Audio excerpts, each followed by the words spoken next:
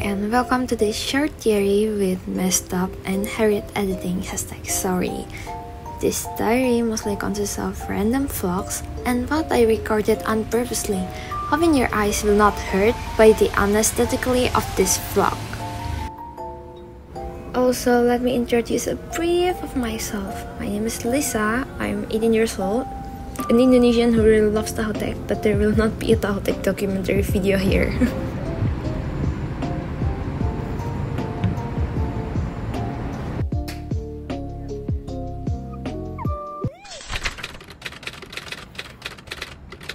Banget.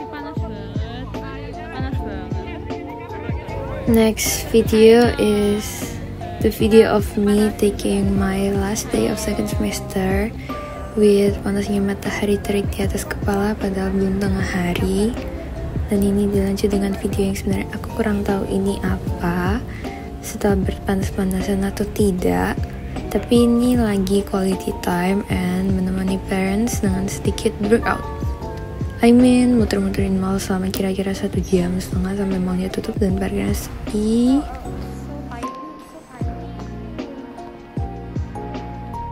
Dan aku yang udah hashtag kangen banget sama kasurku untuk rebahan.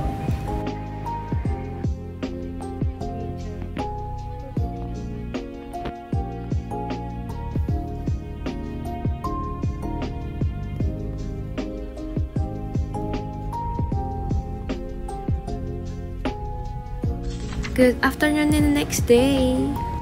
Ini aku ada acara bentar banget di kampus. Hi my friends. And unexpectedly dapat free food enak yummy. Thank you. And ini dibuat untuk melengkapi diary semester 2 dari aku dan temenku yang jalan bolak-balik dua tempat untuk melengkapi suatu tugas yang sebenarnya nggak harus bolak-balik sih, tapi karena saat itu kita beneran lagi mengejar tugasnya. Apakah kalian tahu juga kalau pisang keju itu enak banget dan lagi meskipun sebenarnya ini adalah pisang dikasih topping keju dan ternyata bensin yang tinggal satu kotak aja di mobil ini cukup untuk pulang pergi dari rumah. Aku baru tahu soalnya dan dibuktikan oleh papi Ai yang santai banget waktu tahu mobilnya cuman punya satu kotak bensin. Dan tada, selamat makan. Selain itu, aku juga baru tahu kalau di daerahku ada tempat untuk makan chicken katsu jumbo di danan yang nuansanya Jepang banget dan apakah beneran enak? Kalau menurutku, yes. Enak karena selain bumbunya yang lumayan terasa, walaupun sedikit pedas, aku juga suka karena potongan ayamnya tebel banget. Yummy.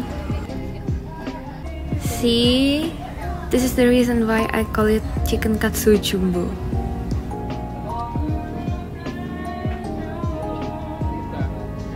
Hi again at McDonald's. Karena tidak lupa menutup hari dengan dessert berupa ice cream bernama McFlurry yang matcha yang menurutku enak tapi sayangnya matcha cookies habis. Dan tinggal tersedia yang Oreo. Tapi in my opinion pasti better without toppings What are things that already happening up to now? In one word, banyak. Mulai dari berangkat bareng temen, padahal sebelumnya sama sekali nggak pernah. Belajar, belajar, dan belajar. Tetapi kadang juga belajar kelompok, and turns out it's fun. Kemudian memikirkan outfit yang mau dipakai ke kampus setiap harinya, yang ternyata tidak segampang itu guys. Karena mix and match outfit memerlukan banyak pertimbangan seperti pemikiran akan nyaman atau tidak yang menggunakan outfit yang aku pilih dan kesenadaan outfit dengan sepatu gambar tokidokiku yang sangat colorful.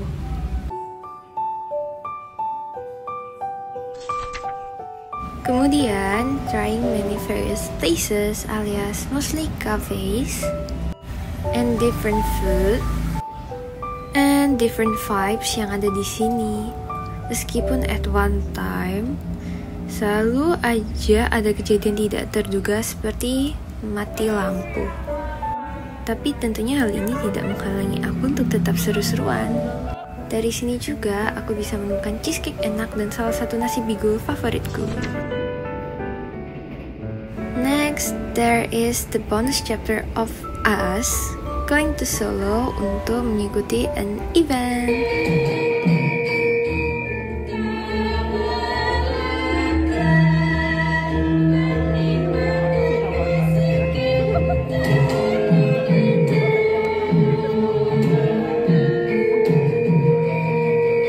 Tapi ada aja kejadian mati lampu walaupun lagi event. Happy Serabi time. But why did I suddenly put this here?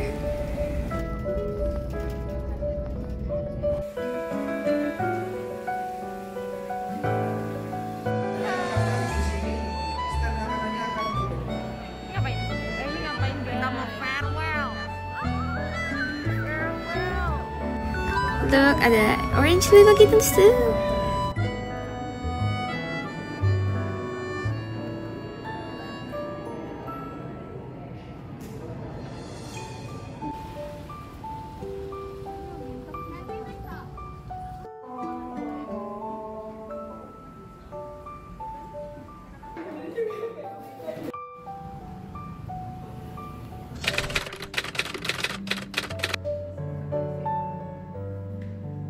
Di last chapter ini aku dedikasikan untuk aku yang terlihat banget suka banget makan.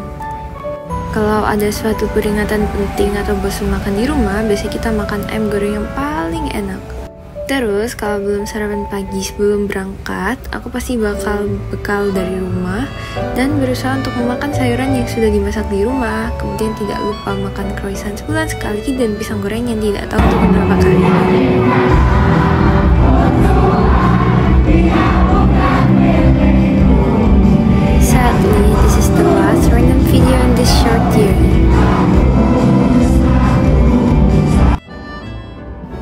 To say goodbye. I'm glad that God made me through half of this year so well and memberikan kesempatan dan mengizinkan aku untuk menjalaninya. We pray, we walk, and we try with God blessings that is upon us. Bye!